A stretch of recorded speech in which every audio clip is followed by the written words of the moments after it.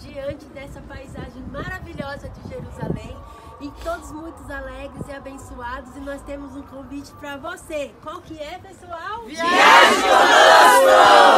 Olha, gente, que maravilha! Como é bom estar aqui em Jerusalém! Olha só que alegria! Você é o nosso convidado para embarcar nessa maravilhosa caravana. Viaje conosco, realize a maior viagem da sua vida.